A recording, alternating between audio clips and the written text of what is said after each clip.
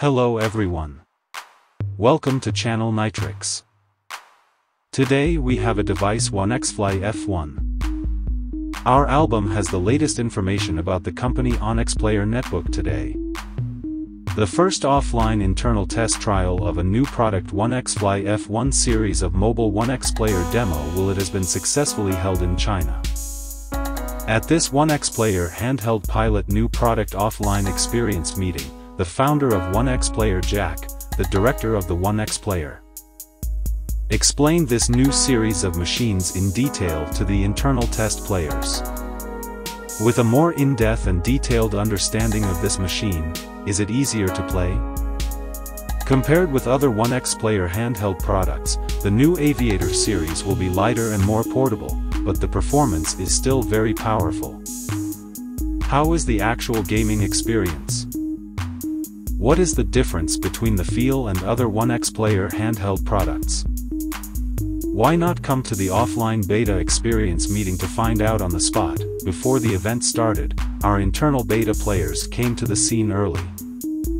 At the check-in office, we felt the enthusiasm from the internal beta players, which ignited the prelude to the opening of the event.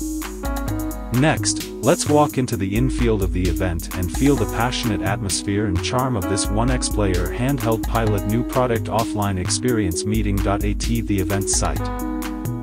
We prepared souvenirs for every beta player present. In addition, there are three special gifts, but these three gifts must be obtained by our beta players based on their strength. Up. After the 30-minute experience session, immediately enter our King of Fighters tournament session, and it's time to show everyone strength. The good party time is always short. The 1X Player handheld pilot new product offline experience meeting in Shenzhen ended successfully with laughter and joy. He gave us many valuable suggestions. The offline internal test experience meeting is the real experience and face-to-face -face communication between our brand and users. 1x Player will listen carefully to and record the voices from users, and will continue to improve in future products.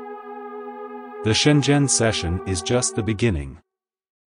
One stop in Chengdu, closed beta players who have received the invitation, please prepare in advance, and look forward to meeting you.